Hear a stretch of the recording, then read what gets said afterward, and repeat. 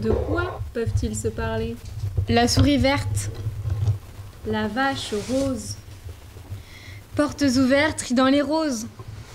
De quoi peuvent bien se parler? Des animaux si colorés. Il est vrai qu'au tournant du chemin creux habite un cheval bleu. Et dans une maison rouge, sous les aunes, un âne, mais alors, tout à fait jaune. De quoi peuvent-ils se parler ainsi sur le seuil de l'été? Moi, j'avais un chien mauve. Qui était? Tout en guimauve.